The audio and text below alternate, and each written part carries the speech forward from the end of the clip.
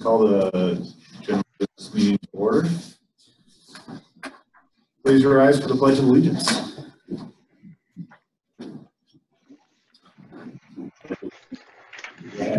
of the United States of America and to the republic which stands one nation under God, visible, with liberty and justice for all.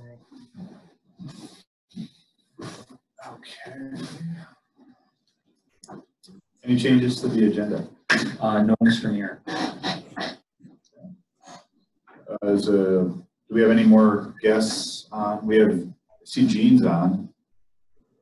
Gene Merger. Yes. Yeah, we'll keep it. Then we have Andy Grice and Matt Mayer from the auditor's office. So, Tom, can you quickly run through Protocols? the, please? So the city has determined that it is not practical or prudent to conduct an in-person city council meeting due to the local state of emergency and social distancing guidelines. Accordingly, this meeting will be held electronically and conducted under Minnesota State Statute, Section 13D.021. To the extent practical, members of the public may attend the meeting by utilizing the published link, call-in information. A Couple items for protocol. Uh, We would like that everybody stay muted until there's a public comment section um, or you're requested to speak or called upon by the mayor, or a public hearing is open, city council will not be muted. The host will specifically, and that's me, uh, specifically solicit questions or comments from the public at various points during each item. Please hold questions and comments till requested. If you wish to speak, please raise your hand virtually, and I'll go through how to do that. Um, and then staff will individually recognize those wishing to speak on behalf of the mayor. Um, if you're not being recognized, provide an obvious visual indicator such as raising your hand or waving at the camera. Uh, your microphone will be remuted after you've spoken. And all votes, uh, given the nature of the meeting, need to be by roll call. So if you're participating on your computer or laptop, at the bottom of your screen, there'll be a section that says participants. If you click on that, it'll open up a sidebar on the right-hand side. You simply need to click raise hand. That will make me aware that you're looking to speak. Um, if you're participating on your uh, handheld device, uh, if you click on more, the three little buttons in the lower right-hand corner, it'll also have a raise hand section. And again, if I do miss that you are raising your hand virtually, um, given that we have a limited number of people in the audience tonight, uh, just unmute yourself, I think, for tonight. Let me know that you're out there, you want to speak, or just make a visual cue. If you're on your phone, uh, press star nine on your phone to raise your hand, and staff will call in, on individual telephone numbers and ask that you address the council. If you are participating by phone after the council has heard from participants online that you wish to speak, the mayor will ask for comments from individuals. So we'll go through people that are working on electronic devices, and then we'll specifically ask if anybody on phone wants to participate.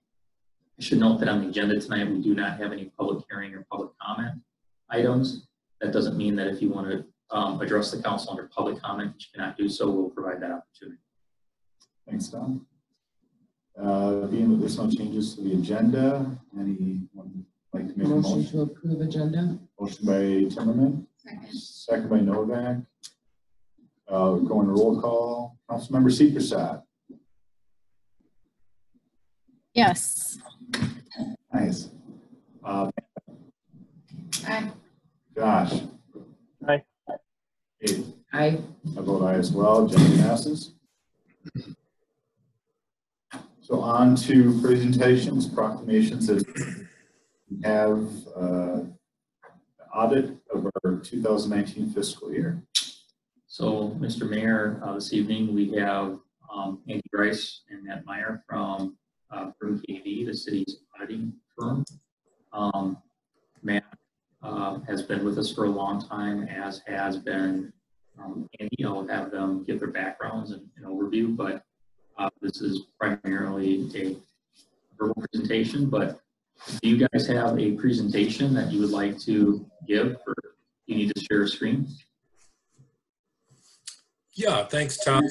Mayor here uh, with Bergan KDV. Um, Andy will be making the presentation this evening, and I want to introduce Andy formally to the council. Um, Andy is uh, new to the council members, but not new to the city. Andy has managed the job uh, of the audit for the last uh, five or six years and uh, knows the city very well. He was recently promoted to shareholder or partner with the firm, and he will be my successor in the years to come here.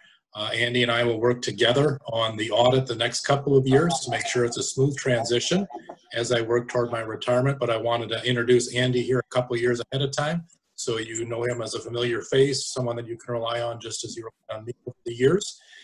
And he'll be making the presentation tonight to give you some perspective on the results of the 2019 fiscal audit, as well as some financial analysis of your general fund and your enterprise funds for the year. So I will turn it over to Andy.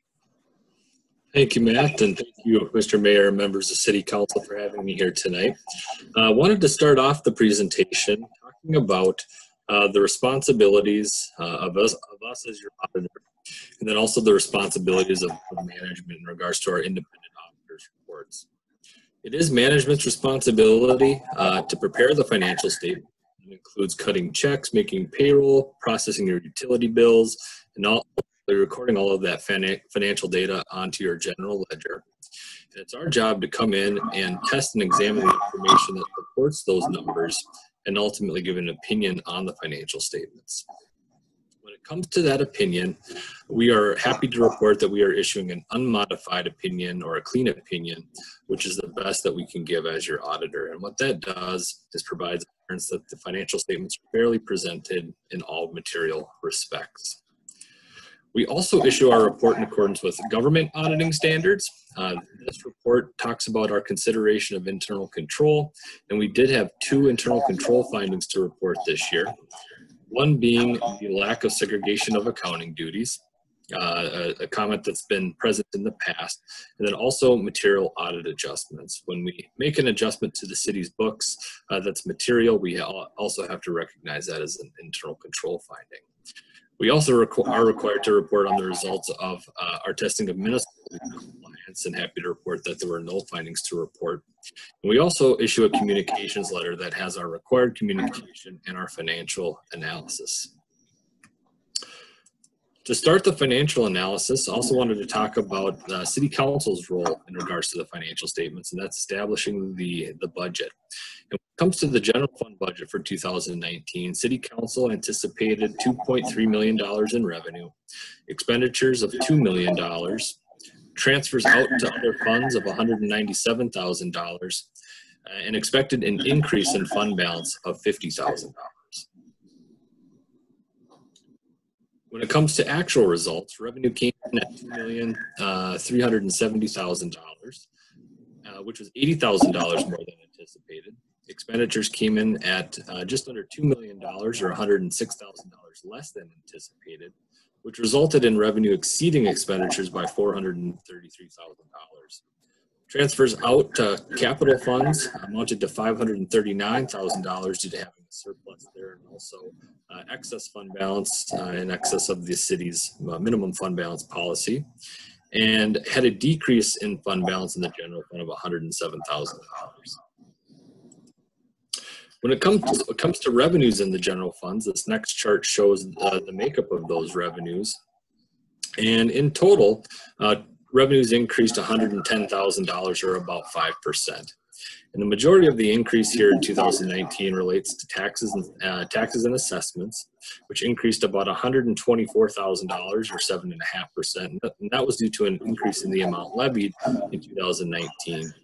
This was offset by a decrease in intergovernmental revenues of $31,000 due to uh, no longer receiving the assistance grants. Uh, remaining categories remain consistent with the prior year.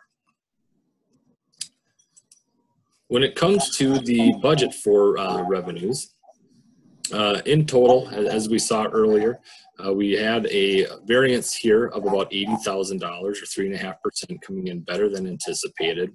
And most variances were uh, fairly consistent with uh, budgeted amounts, except for licenses and permits had a variance of about $30,000 uh, over budget due to conservative bud budgeting.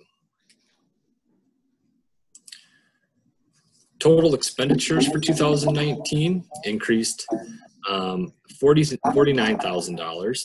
Uh, public safety expenditures increased $73,000 due to some additional salaries and benefits. General government expenditures decreased sixty-three thousand dollars due to less, uh, less engineering, accounting, and consulting fees. And the remaining, uh, allocation of your expenses were consistent with the prior year. To the general fund budget to actual results for expenditures, uh, there was a total of um, uh, $1,932,000 compared to just over a $2 million budget. So coming in $106,000 less than anticipated, 5%. And the most significant variance, uh, again, occurred in general government where expenditures were $94,000 less than anticipated, again, related to engineering, accounting, and consulting fees being lower than anticipated. I'm sorry, Maybe sorry to interrupt. I'm sorry to interrupt. The audio's kind of cutting out a- a little bit. I'm not sure if there's a microphone issue. Um, I'm using the computer audio, so let me do there.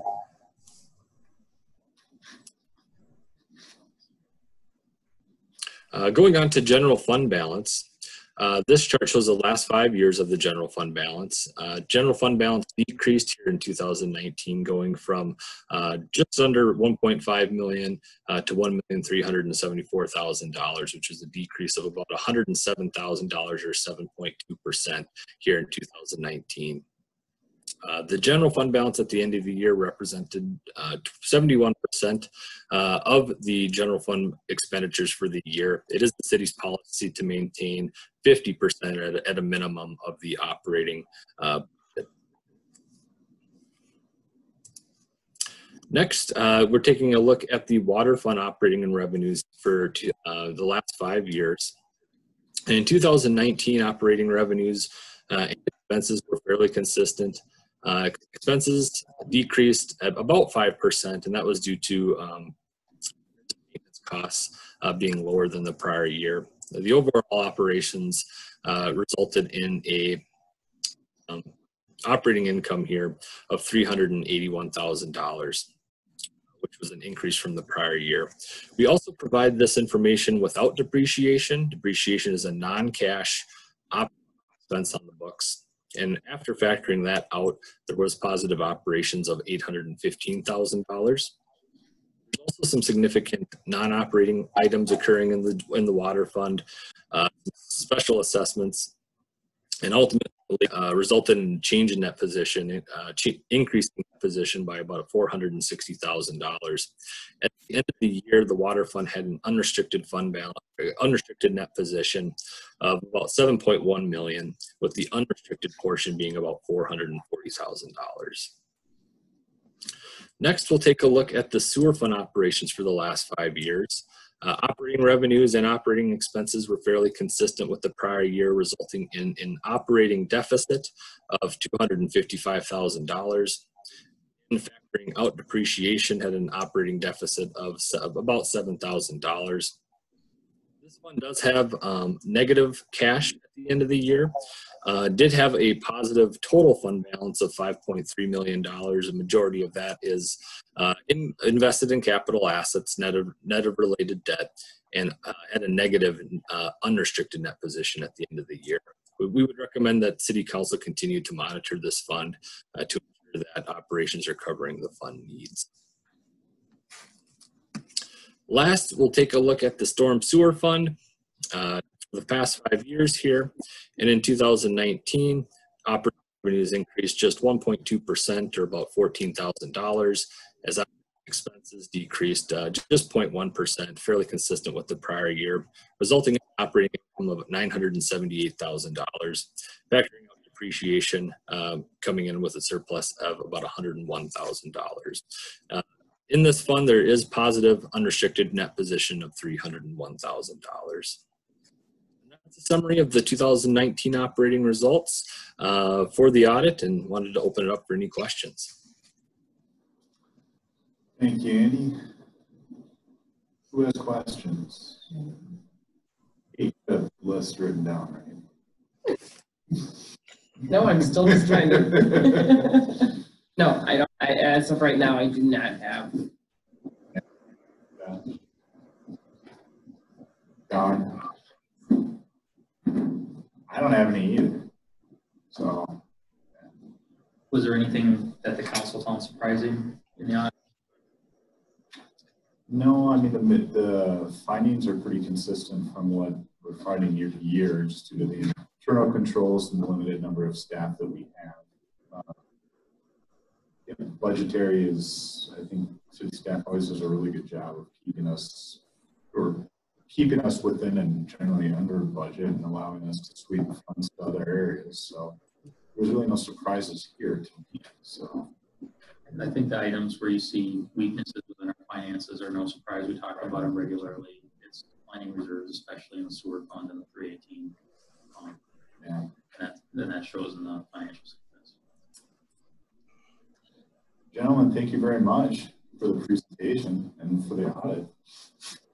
Thanks you for, so much for having us. See you next year. Enjoy the rest of your evening.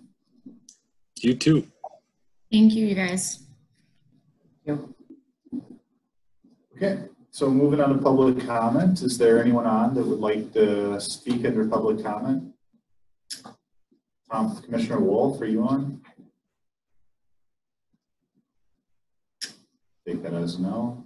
I guess uh, this is uh, not trying to, to prompt public comment, but would Gene have any uh, public comment of how these Zoom meetings have gone? Uh, any feedback or criticism or anything? And you don't have to answer or want to be put on the spot either if you don't want to. You just, you're gonna get Gene to not. tune I'll in unmute you anymore. here. Oh. One second.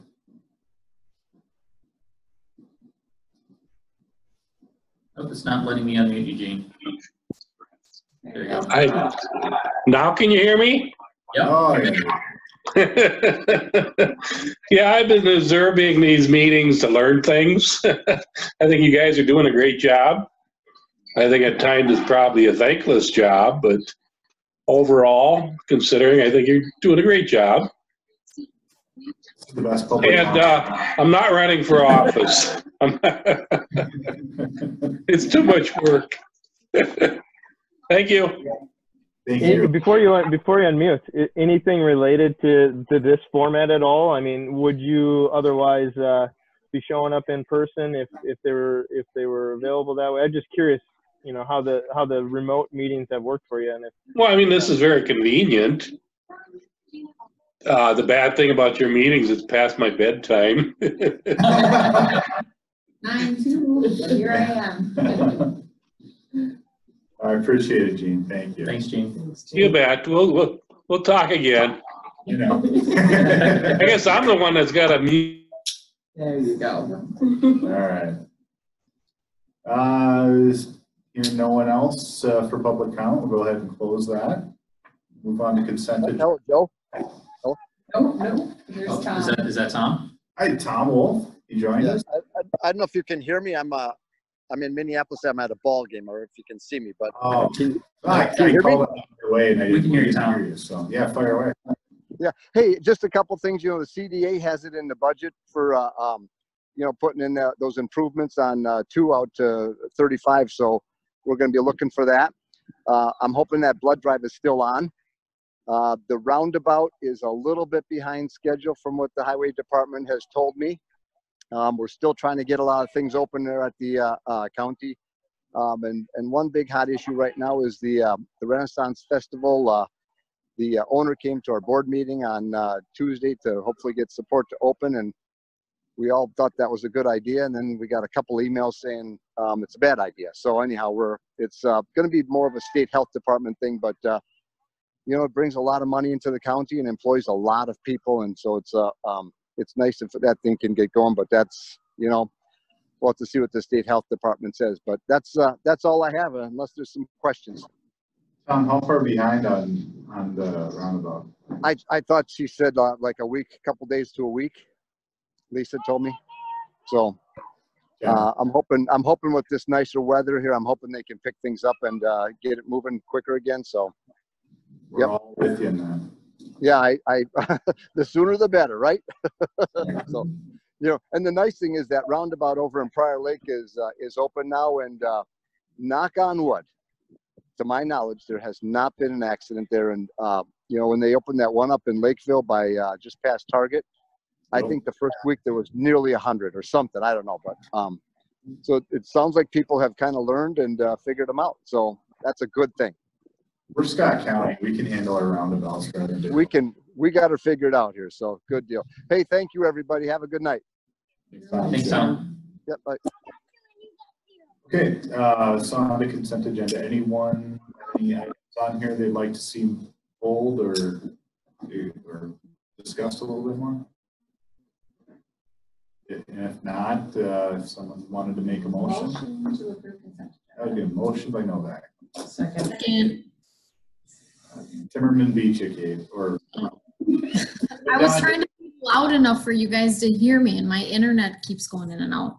Don, why don't you go ahead and vote first? To approve. Second, or I, sorry, I. Kate, Aye. Amanda, I. Josh, Aye. vote aye as well. Agenda, uh, consent agenda passes, so. We have no public hearings tonight.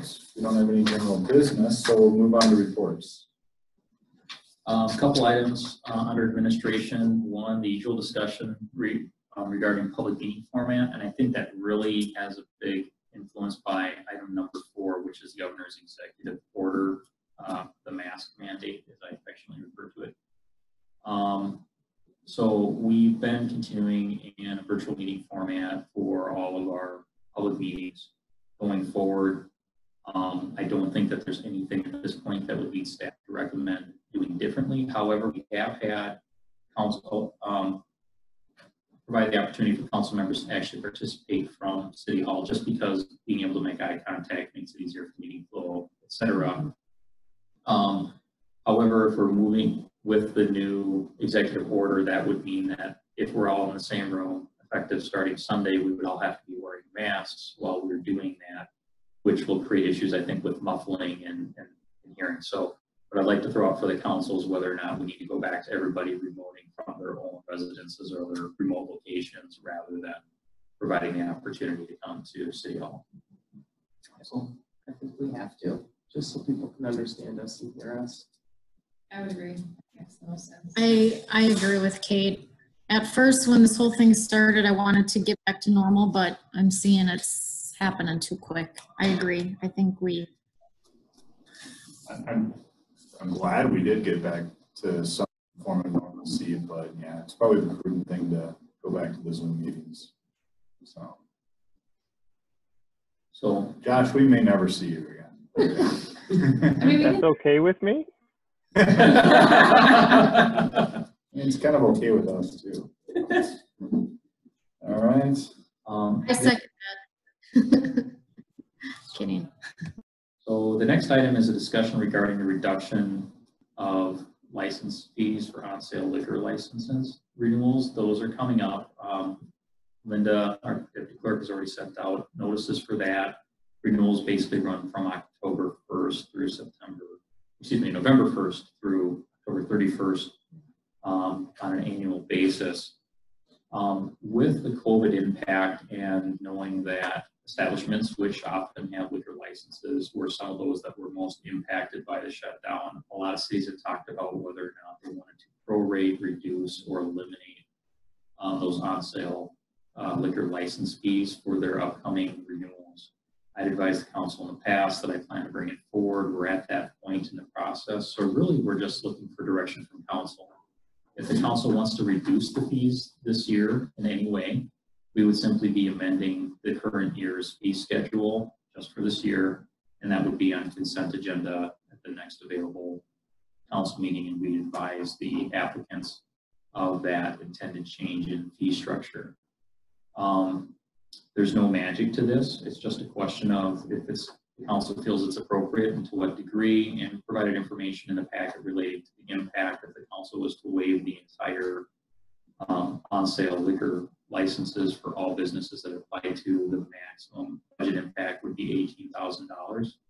Uh, we do budget for contingency and those types of things within, modest contingency within the budget. We're also doing very well relative to budget so far through the year, so I think we have the capacity to absorb it if the council chose to do so. I would support bringing them down to zero or as close to zero as possible. Hundred percent. I'm on board. Okay, we're not making any motions, so you can talk.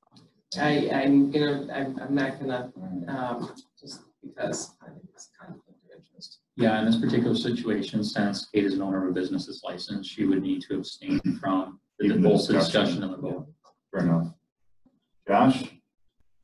Hundred percent agree with you. Let's get Okay. rid of 'em. Did, did we hear from everyone? Did we hear from Don? I'll we did. Yes, I, I agree to bring it down to zero. Okay, so we'll have an action item coming forward for, for the council on that item then. I'll, let- I'll let Linda know and she'll prepare it. Perfect, thank you. Next item is the CARES Act funds update. As- Before- I'm sorry, before we do that, um, being that we're talking about meeting formats, the planning commission meeting on Tuesday. It's a Zoom meeting, is that, or, okay. So, yeah, I guess, never mind, then we really don't have any need to come to City Hall for anything. All right, No, It's, it's published and I believe Haley did send out appointments to. the yeah, council. yeah, Uh, the CARES Act funds update. So as the council is aware, the CARES Act that was passed by the feds allocated about three hundred and sixty thousand dollars to the city for eligible expenses. Um, as the council knows, at our last council meeting, we approved submitting the certification, to make us eligible to receive those funds. We're still waiting for them to come. We expect we'll receive them actually into our account in the next two weeks.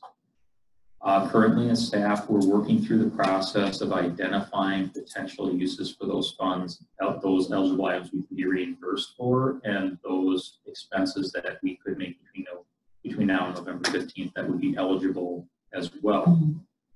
Um, as we're working through that process, there's a couple of things that we are finding. One is we are continuing to build a list of potentially eligible items we're also finding is that there's very little guidance on what is actually an eligible expense. There, if you recall, I kind of provided these very high level, broad guidance statements, like four bullet points that came down from the feds. Beyond that, there's absolutely zero definitive guidance, even though it's been out there for a month from the state um, on this issue. So for, just to give you one example, um, one of the items that you would think would be eligible would be first responder expenses related to the expense. But we, nobody has received any sort of definitive response. Does that just apply to overtime that might have been related to it due to shift changes? Does that apply to just hours that they spent working on COVID response related items? Or does it potentially include just because of the nature of their jobs, their entire salary and benefits through the eligible time frame window? And as you can see, depending on the answer to that, that has a massive impact on eligible expenses just on that one line item.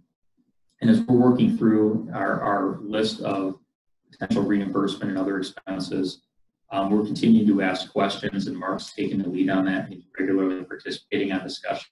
And what we're finding is everybody has the exact same questions and there are no answers at this point. So at some point there will be, or we'll just be at a point where we'll have to use our best judgment and go forward and hope that it is eligible and that we don't have to pay the money back at some point. So if that's the case, we'll be very, very cautious on how we utilize the dollars. Some of the things that we are talking about currently is, would be, of course, payroll um, reimbursement and future payroll through the eligible period for eligible payroll expenses, PPE. Um, we are looking at possible modifications to existing facilities to make them more COVID or contagion proof. Um, and we're in process of getting um, potential budget numbers for those types of items. Um, we're looking at uh, business assistance, um, grants or loans or forgivable loans, um, but in that area as well. Just the items I listed now potentially exceed the dollars we have, so I expect we'll be coming back to the council. The council will have to make some priority decisions with regards to the use of the funds. My original intent was to, um, I saw that you raised your hand, Josh. Um, I'll be finishing up here in a second. Um, we have had requests from our local, one of our local hospitals. That's an eligible, potentially eligible expense to contribute dollars to them, to help them recover costs from COVID as well. So the list is long. I was originally intending to come to the council on the August thirteenth meeting. Um, depending on the timing of when we get answers and the clarity of those answers, may, we may have to push that meeting Um, but we're currently diligently working on that. We do plan on coming to the council with a list of potential options and recommendations uh, related to that. Josh, Mr. Mayor, Josh has hand raised. Josh, go ahead. Well, I don't want to steal any thunder, Joe, because we might have our brains wrapped around the same thing. So I don't know if you want to talk about anything small business wise or anything. Otherwise, I will. Fire away. No, I mean, I think, and you, you hit on it, Tom, that, you know, you're looking at those different options. I want to not necessarily guarantee slash harden the, the, the ground, draw a line, but I mean, really, I mean, be um, dedicated to or uh, trying to make sure a portion of this, whatever that magic portion is, um, really gets pointed towards our small businesses in town uh, to get creative about that, whether that's 25% of the funds, 10%. I mean, just somehow making sure that, um, you know, and, and, we can obviously decide the priorities of different things as, as we see that list uh, in the upcoming meetings. But um, I really think we need to look at the, the businesses we have here in town and dedicate some portion of this to them um, without hesitation, even if that means we can't recoup some of it from the city level. Um, but I don't know what that magic number or percent or breakdown would be. I just feel really strongly about that. Gosh, I had asked uh, for, I had asked to be kind of kept in the loop on those conversations with, uh, as um, Renee and Haley were working on it. I suppose you're the EDA chair. I, I, would you want to also be included in those conversations? I'm sure it'll drive staff nuts, but we're fun. I don't necessarily need to be. Um, I trust uh, you're going to represent well, and now it's been on the record too where I sit. So um, I think direction has been provided. So I'm, I'm good. Yeah. Okay. Anything else? On that item. Uh, the last item is the governor's executive order 2081, the mask mandate. I just wanted to update the council on what impacts that has to the city, just our day-to-day operations and service delivery. Um, so I'll start with just day-to-day operations. Really what it's going to mean is some minor changes to how we're handling um, COVID protocols within the office and within the various departments. Um, within City Hall, it simply means that if you're outside of your cubicle or office area, in any common spaces, you're going to have to be wearing a mask unless you're in a room by yourself. Um, it means that if you're traveling anywhere in a vehicle with somebody else, you're going to need to wear a mask. Um, it means that if somebody comes into your office or is, if you're in a cubicle area within six feet of you, you'll have to wear your mask. Um, and then uh, I think that will mean though that we may, quite honestly, have some of our staff looking to work outside the office more than they have been um, recently because of the inconveniences associated with that. Uh, the other item for operations for public works, they generally work outside at distances greater than six feet, so that'll have a lesser impact, but the same general rules would apply if they're more than one person in the office space at the same time, they'll need to wear a mask. If there's two of them in the vehicle, they'll need to wear masks. But if they're out in the field and they're maintaining more than six feet, they won't need to wear a mask, but if they are in closer proximity, uh, they will. From a police department standpoint, there are some qualifiers or exemptions within the order that are specific to law enforcement. But generally speaking, um, the same rules would apply uh, if they're working um, when traffic stops. They're not planning to wear masks, but they may be doing passenger side approaches, et cetera, to maintain that six foot of distance. They already have protocols when they get handed paperwork and licenses and things to disinfect after that, but the mask does create an issue for law enforcement, both from a clarity of direction and reading of facial features when they're interacting with the public, especially in law enforcement situation. But if they're going into somebody's house or something like that, or they're interacting with the public in close proximity, they would be wearing their masks as well. The other issue that impacts us that's related to this is the order places the burden on businesses to enforce the mask requirement and then places the burden if the person does not comply for them to call the police department police department respond and deal with the issue. So I did want to give the council a quick update. Um, Chief and I have had discussions on how we would handle it both at City Hall and how the police department will be handling it generally. So the intent here is not to make an issue or create a point of confrontation. So if we have a we have an individual that comes into City Hall that is not wearing a mask, it will be posted that you do need to wear a mask in City Hall we will advise them. of what the rule is, we will ask them to leave. And if they refuse to do so, we will service them as quickly as possible, advise them of the rule in the future. Now, if you have a repeat offender, or somebody that's making an issue, that's a whole different situation. But our goal is not to have our staff become the mass police. Again, we'll advise, we'll request, and we'll service. Um, Brady will be going, the chief will be going around talking to local businesses that have storefronts and having similar conversations with them and basically recommending the same approach with regards to these issues. The order says that you have to make reasonable efforts for compliance as the business. It is our position that reasonable is that you have advised and you have requested. Now, if there's an individual and potentially exists wants to make an issue out of it and they do call law enforcement, law enforcement will use their normal opportunities. They will educate, they will request, they will persuade. The last course of action would be any sort of citation.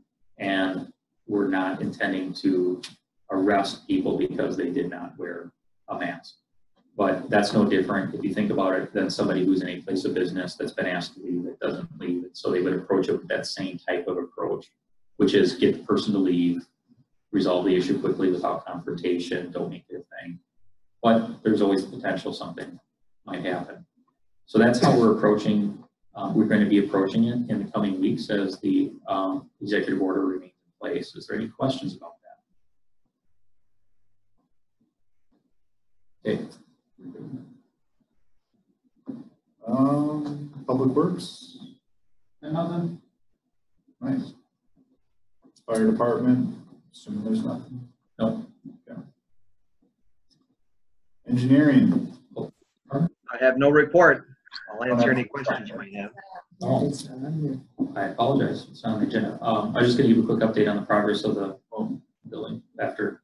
Rich, I'm sorry, we, I didn't hear you. Oh, all right, thanks, Rich. The only thing he doesn't have Brady here to give us time to tonight, so you get his time. Um, police department, uh, basically, they are finishing up the underground plumbing. They are planning to start pouring the floors as soon as early, as early as midweek next week. Um, with early the next week, if everything goes smoothly, to start framing in the non-block walls within the interior. Um, we had a really good meeting today. Everything seems to be moving forward relatively smoothly. The greatest risks in a project are that are getting the, sh- the shell and the plumbing and all the underground and utility work in. Once you get past that, it's fairly straightforward and actually should start picking up pace. Um, right now, the official schedule is that we would be substantially complete and ready for move-in the first week in November. But obviously, if things continue to move smoothly, there's the potential that it might be earlier than that.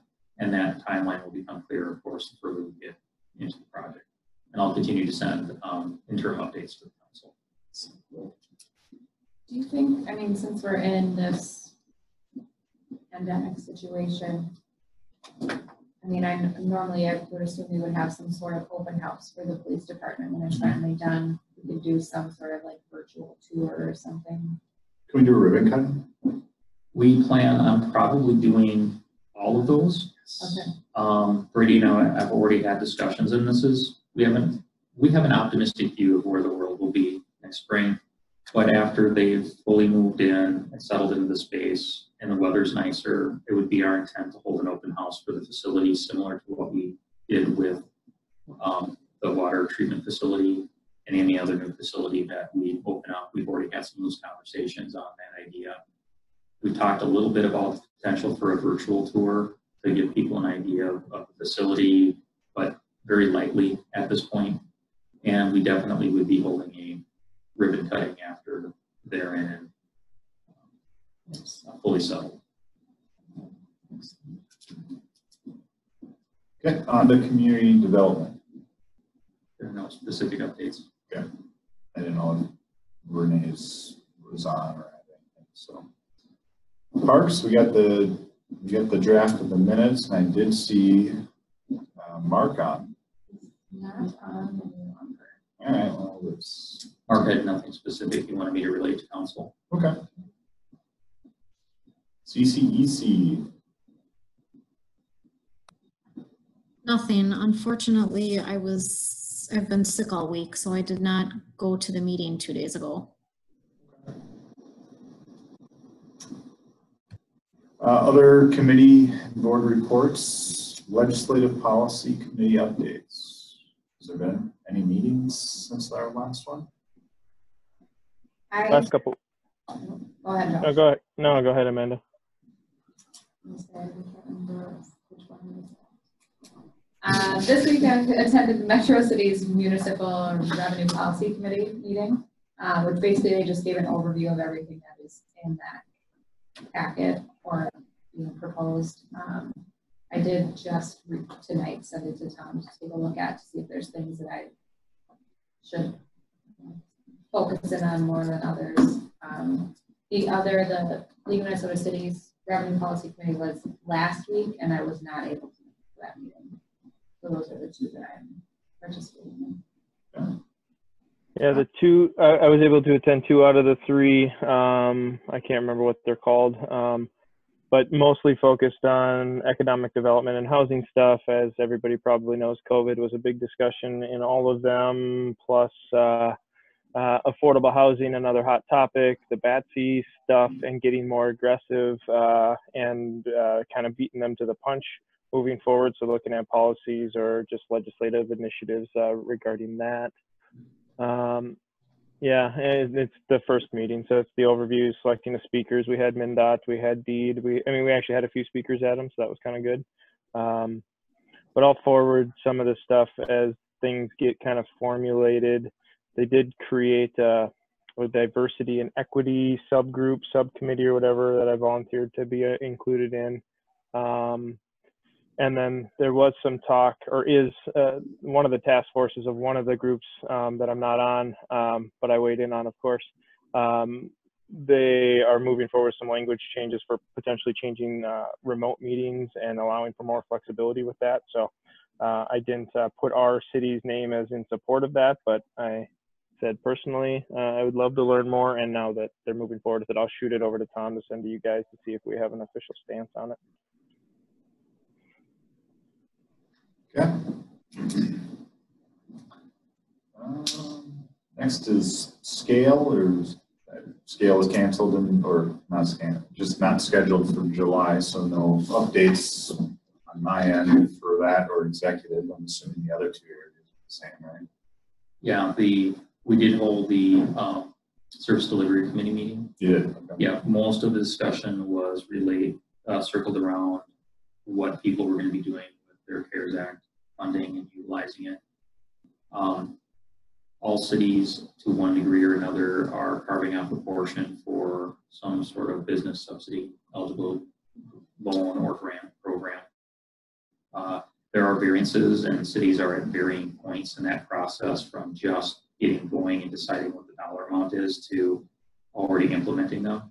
So uh, we're not outside the curve, but we're probably in the latter half of that process relative to other cities. And to be blunt, it generally goes, the cities that are larger and have existing programs or have more staff are further down, further in the process than we are. Sure. Um, other items is talking about potential eligible expenses. Everybody's in the same boat. They're trying to identify what's eligible, um, what's the most beneficial use for those dollars um, for their organizations. And across the board, there's commitments to just basically share the list of this is what we're planning to use it on. So if anybody has a really good idea or template that somebody else can use, they can be shared in typical SCALE fashion. Okay. MVTA, Meeting is next week. I thirty-five, Uh, meeting was a couple weeks ago. I already updated the last meeting. okay. Uh, Chamber of Commerce, I know I'm getting together with the chamber president tomorrow morning. Um, but I don't have any update. Kate has a chamber. Okay. On to discussion by council. I do have one item I'd like to talk about and just run it by everybody's uh, brains and see if we can bring it back up again. We've talked about it in the past, um, possibly going from an EDA to an EDC. I just kind of want to see how other people are thinking and feeling about changing our format, changing um, and, and making it more community driven.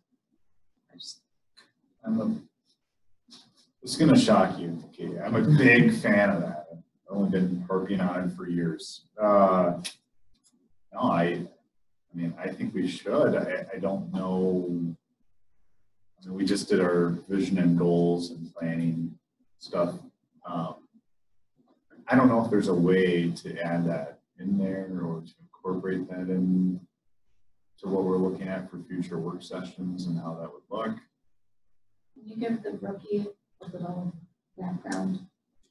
So, okay, so the, right now our EDA, which, you know, I think we maybe have, have had one EDA meeting in the past, what, two years, something like, I mean, that's what it feels like. Um, And our Economic Deve- Development Authority is all the same people that are on city council.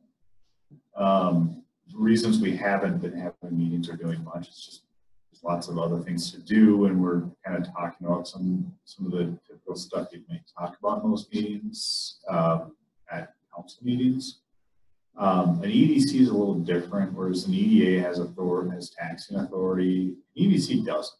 Um, and it's really more of a recommendation body, uh, to the city, the city council. And I've always liked that idea because you're bringing in people from that are not necessarily directly involved in government. They don't, they potentially don't have to even live within the city. They can just work or have a business in the city. But, you know, you talk to, and I'm just speaking with me, speaking personally, but, you know, I'll talk to people from other cities or other EDC members at, in other places. And I've been part of an EDC in Lakeville and you get a lot, you, you can get a lot of good ideas going. Um, that, I don't know, I think there's just a lot of benefit to having different people in the room. Um, that are not necessarily part of government, but just part of the peer business community, um, that can help raise issues for potential development or have, or suggest different ideas. Maybe at the very mo, at the very least, there are people that are well-known business people outside or are going outside and actively promoting Elko Market uh, development. So I've always been a big fan of it. Um, I know the, and the reasons we haven't pursued that any further is just kind of a resource deal. Um, we have Haley and Renee, and I know it's, they've uh, expressed concern about having the resources to be able to do that. Um, Tom, would you add anything? No, I do want to clarify EDA, EDC a little bit Go ahead. So an economic development authority has certain powers um, within statute to be able to levy, issue debt, and um, other authorities. We originally established the EDA simply to add tools to the toolbox. Um, And the intent was consciously not to add any other layer of bureaucracy so we could be nimble and responsive to economic development issues that would come up. So for example, we've got a big user at I-35 and we need to go through a process. We don't need to go through an EDC or another organization, another level for being responsive to that. Um, and then the idea was that at the time, uh, we don't have the resources to support a whole nother commission and it would still have to come to the council. So it was really, we're just adding tools to the toolbox. We're gonna make it the council. We do want some feedback from the local business community, so we will appoint somebody that's recommended by the chamber to kind of provide that additional voice. So it was kind of the minimalist approach to how you do it. An EDC is an actual commission. Now, the council can assign EDA authorities to that EDC, or they can simply leave it as an advisory body. So what powers and authorities you give it and how it's structured um, are, are, are up to discussion and what the council would like to do. Now, from a staffing standpoint, that has been the ongoing issue. And so issue, if you create a commission, you gotta resource it, otherwise you're wasting people's time and energy. And it's been staff's feedback consistently that we're stretched right now from a resource standpoint. We simply don't have the resources to staff a whole nother commission. And because it's not just scheduling a meeting, but they're gonna wanna do things. And you know who does those things? It's staff. And so It's a question of do we have the resources to do it? So it's a little bit of juice worth, the is the juice worth the squeeze? And do you even have the resources to do it? And so staff has been really conscious now. We'll do anything the council asks us to do. But if you ask us our opinion, our feedback has been that we're not resourced for it. And then the end result of that is going to be that the juice isn't worth the squeeze. Not the concept. That definitely has benefit. I have established, developed, and worked with ED EDCs in other communities. But if we don't properly resource it, it's going to be ineffectual and it won't be a success. So that's been the limiting factor, primary limiting factor up to this point. So if this is something that, as a council, we decide we would want to do, I mean, I think it'd be realistic to try and, I don't know, I, I mean. Is there a way that we could just have it maybe on a work session one day where we can just brainstorm ideas that maybe, you know, if we do an EDC, the commissioner that's in charge, chairman of the EDC actually puts together the agenda, does, No, I can tell you, I would be blunt and straight out, it will not function well. Okay. And will not be effective. You will need professional staff pulling it together. Otherwise, at that point, you're talking, what it essentially becomes is a, and there won't be communications between staff and that organization. Will essentially become just the downtown business club or something like that from an effectiveness standpoint. If you're gonna do it, you wanna do it right, which means we're gonna need additional resources, which we'd be happy to talk about. And, and, and that was where I was going. You Yeah. know, I, I, I'd love to start have, I know we did a while back have a conversation, but I'd love to revisit that conversation. Um, you know, I, I, I wasn't on the Lakeville EDC for a long time. I had to resign when I took office here, but you know, a lot of the, the people that were in that room were big business, were, were big hitters in the business community and brought perspectives that I wouldn't ordinarily have thought. And it was a good learning tool. Um, you know, Lakeville, one example, I mean, Lakeville's done, had a lot of construction projects going on. Uh, the EDC pushed really hard on different ways of communicating and working with those businesses. And that's just, that, that's something that's just kind of been in my mind as we've had this roundabout project going on. And that's not to say staff hasn't or staff hasn't tried to do it, but like you said, staffs have just limited resources. Um, I don't know, I think it's good, and I, Kate brought it up, and I'm doing all the talking here, but I'm a big fan. I, I would just like to revisit it. I would like to talk logistically. I would love to know what the other council members think. I mean, I, obviously, Joe is very passionate about it. I would like to, to revisit it and see if there's what we can do. Um, I think the input from other business um, owners or people in development, you know, would be great for another perspective, but I think we also have to talk about logistics and realistically, if it's something that we can do or not, and how the rest of the council feels, so.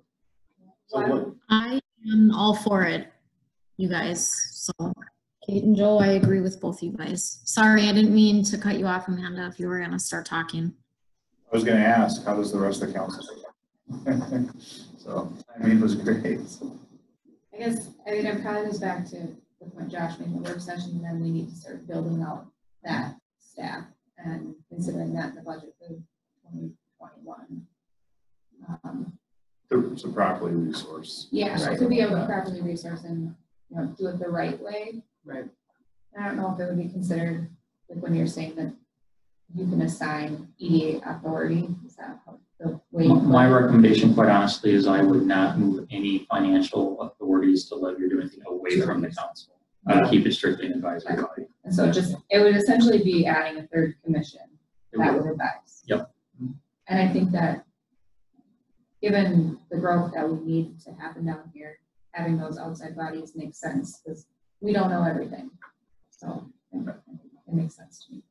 So you're open to just at least kind of talking logistically, what we would have to do to, Josh, are you, you just vehemently opposed to all this? Well, I could be the pain in the butt, um, and it's fun to always do that. But I, I mean, I, I mean, I think it's it it is completely completely off the table unless we resource it, um, 100%. I mean, and I think a- a- so. It gets down to is is it worth it? Um, and and as we add a new person, I mean, we're already looking at 2022 before, uh, unless we you know do anything different with the budget to do anything. So, I mean, we have time to plan it out, time to think about it, but um, I, I don't know. I just But Josh, are you open to having the conversation? absolutely open to have the conversation. That's all I was really looking for. Yeah. All I wanted to do was be able to open up the conversation. So it's, it's simple enough. We can just schedule um, a report item discussion on the future council agenda. We already have a memo on the topic that would just maybe need to be revisited and updated um, to provide background on the topic for purposes of the council discussion. And if we're talking about um, future budget years, again, providing that background and having that discussion would inform a discussion when we're talking about projected budgets. So Perfect. Yeah, that's all I wanted, just to revisit it. I know we've talked about it in the past, but I, Kate, thank you for bringing that up. you're welcome, Mayor Joe. It's something I'm very, I am very passionate about.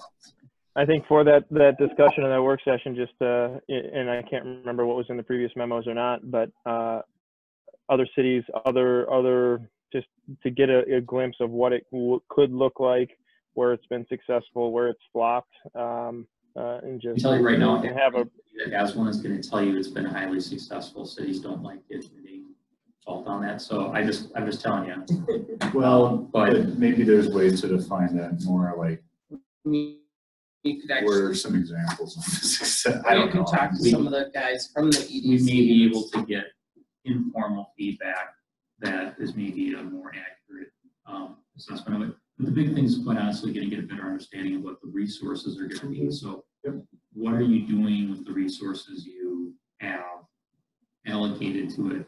I do know from personal experience that the upfront resources required for Commissioner Dramatic, it's, it's that initial investment of time and everything to get it up because you have to establish it. It can take six to eighteen months for your commission to develop an understanding of what their job really is and start to be able to get their arms around what they're doing and reach consensus. Because everybody has this big pile of ideas and It's just a process. Mm-hmm. And that tends to be fairly resource intensive compared to what it is once it's up and running and it's an established commission and it kind of has a feeling of what its role is and really has its mission and its goals annually. Then it becomes a little more efficient. And so we want to have this discussions with communities, if we can, on both of those, and get a better idea of what it might take for purposes of this discussion. So that would be an added dimension we had in the past. I think that the council is looking for beyond just, here's what it is and do we want to do it? But maybe as part of that discussion, start having an idea of what the resources required, realistically, what the resources might be to make something like that happen. That'd be interesting, yes. Okay. Any other discussion by council? Anyone interested in adjourning? Motion to adjourn. It's a motion by Timmerman, Second. it's a second by Novak. All vote aye. Amanda, Aye. Josh, aye. Kate, I Don. I All right, meeting is adjourned. Thank you, everybody. Have a good